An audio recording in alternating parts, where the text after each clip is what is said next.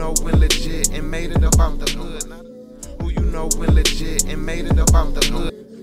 Okay, so this is one of my favorite go-to meals. It's like my version of the Mexican pizza slash fiesta pizza at um, Taco Bell, but it's even better, guys. And it's easier, it's cheaper, you can feed your whole family off of it. You can't go wrong. So all you're gonna need, you're gonna need some flour, some tortilla shells. I usually use spinach um, wraps for it because it makes a bigger pizza and it just, I don't know.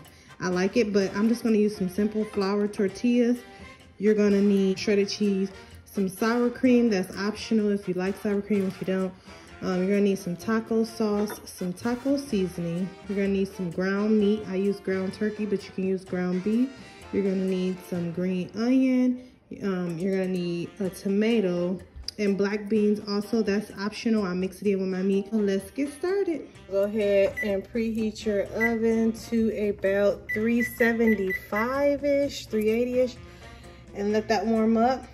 Then you're gonna go ahead and take a pan, put about a tablespoon or two of olive oil in it and let that heat up. Okay, once that heats up, go ahead add your brown meat in there. And just cook that until it's brown.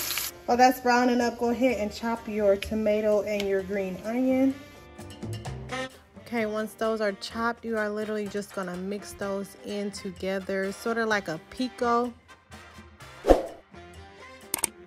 Okay, as your meat is browning, you want to break it apart very, very finely, um, like a taco meat. Okay, after that, if you like black beans, you can go ahead and add your black beans at this point and just stir those in really good. Then go ahead and add in your taco seasoning packet and just go ahead and mix that in really good as well.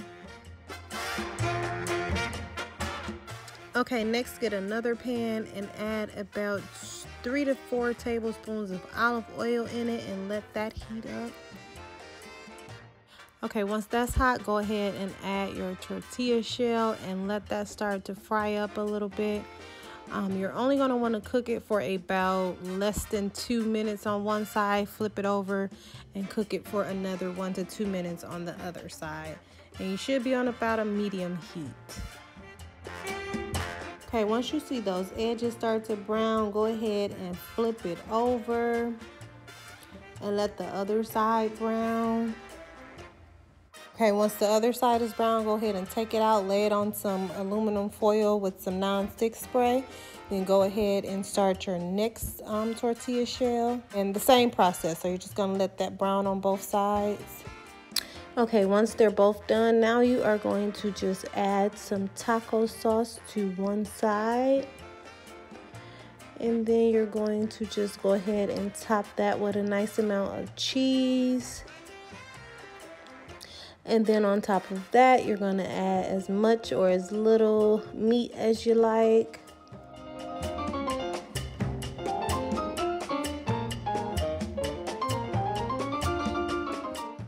Then you're gonna add some more cheese. Then go ahead and close it up with your top shell. Flatten that out a little bit. Then go ahead and add a nice amount of taco sauce on top. And then rub that in. I'm using my finger, I don't have a spoon close. And it's mine. And then you're gonna top with, of course, more cheese. To that, go ahead and add a nice amount of your pico or your tomatoes and green onion. Okay, then you're gonna bake for about 15 minutes until cheese is fully melted. And there you have it, my yummy Fiesta pizza. I like to top with some jalapeno peppers and I like to serve with some um, sour cream and some extra salsa.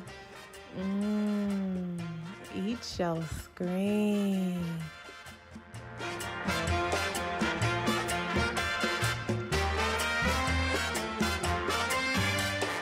For all the infidels, non-believers, fuck y'all. Taking this shit to higher grounds, nigga.